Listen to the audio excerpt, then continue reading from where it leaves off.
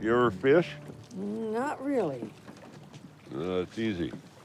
You just throw in a line and wait. That's it, huh?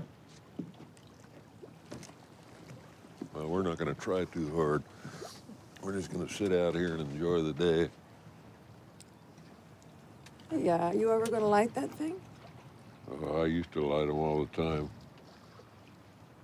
Trying to be more health conscious in my later years. Oh, yeah? Yeah. And someone once told me that I had a oral fixation. So So you do this for all the girls?